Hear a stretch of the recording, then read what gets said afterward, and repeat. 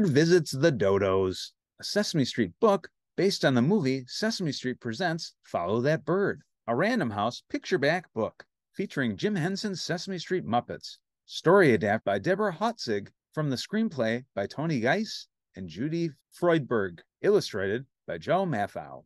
Voices and narration by Geeky Jr. and Speeky Geeky's Mr. Geek-e. Big Bird was in for a big adventure. It all started at a meeting of the Feathered Friends Society. This meeting will come to order, said the chair bird. As you know, our job is to place stray birds with nice bird families. He held up a big picture of Big Bird. This sad bird is six years old and lives alone with no birds around. Mr. Owl said. He doesn't look sad to me. Miss Finch spoke up. Nonsense! He needs to be with a bird family, and I know just the family. Miss Finch went to Sesame Street to tell Big Bird the great news. You really do need a home, she said. But this is my home. I like it here, said Big Bird. Wouldn't you like to live with birds of your own kind? said Miss Finch. Wouldn't you be happier in a beautiful birdhouse with a happy bird family, singing and playing happy bird games all day long? Gee, Big Bird said dreamily.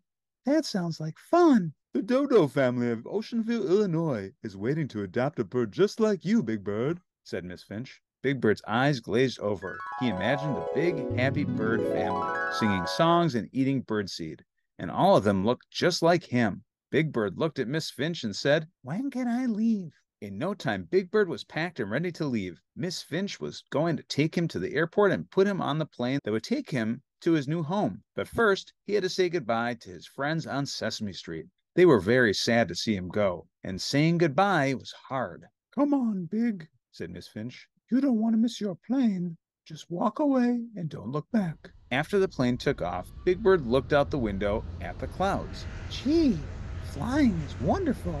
I feel just like a bird, he said to his teddy bear Radar when the plane landed in Ocean View.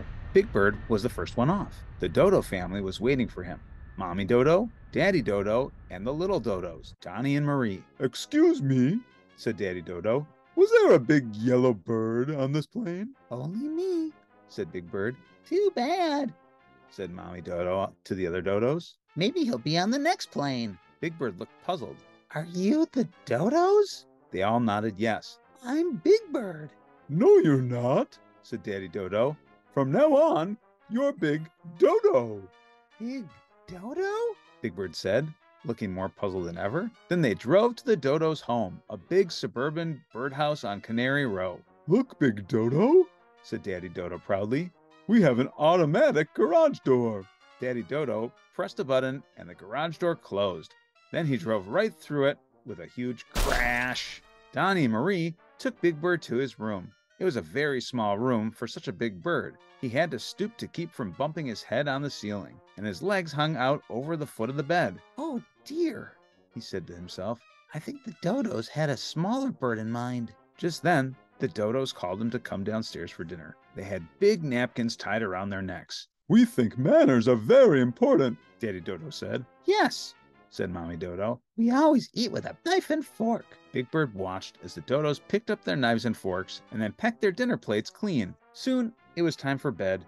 Big Bird got into his tiny bed and thought sadly about his nice big nest back on Sesame Street. When Mommy and Daddy Dodo came into his room to say goodnight, Big Bird felt a little better. He smiled at them and puckered up his beak for a goodnight kiss. But the Dodos just shook his hand, turned off the light, and left. Big Bird kissed his teddy bear goodnight instead. The Dodos are a nice family, and I should be happy, but I'm not. So what is wrong with me? Love, Big Dodo. Big Bird to you. One night, Daddy Dodo was reading Newsbeak magazine, and Mommy Dodo was knitting a sock with feet at both ends. Donnie and Marie were quietly watching. Big Bird had been living with the Dodos a whole week, and he was bored. I know what we can do, Big Bird said to Donnie Marie. Let's play make believe. I'll be Snow White. Donnie said. You can't be Snow White. Marie said.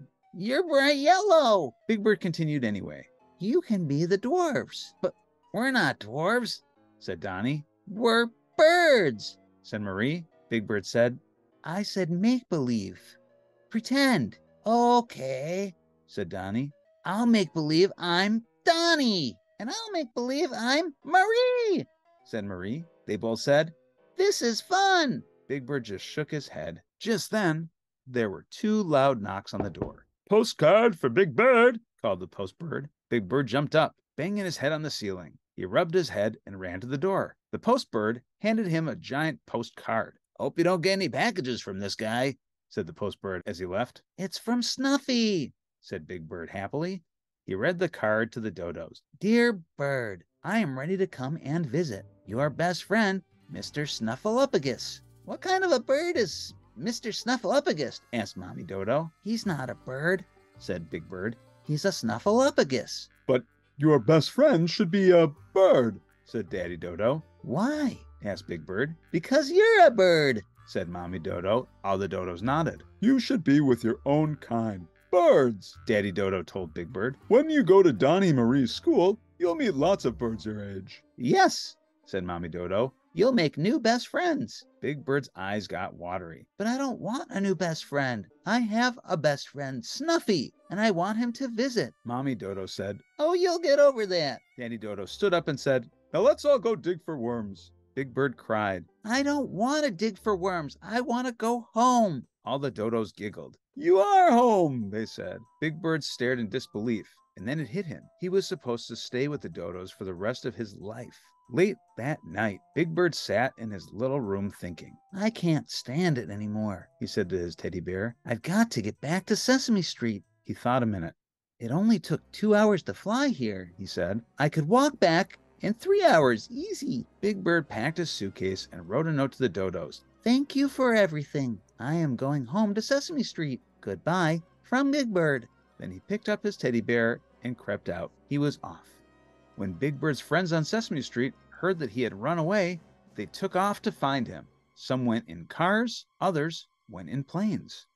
Come fly with me in an upside down world. There's so many strange things to see. Miss Finch wanted to find Big Bird too. Big Bird had a lot of adventures along the way, but finally Big Bird was rescued by his friends from Sesame Street. Everyone on Sesame Street was waiting to welcome Big Bird and his friends who found him. He was so happy until he saw another face in the crowd. It was Miss Finch. Big Bird was afraid that she would take him away again. Hello, Big, she said.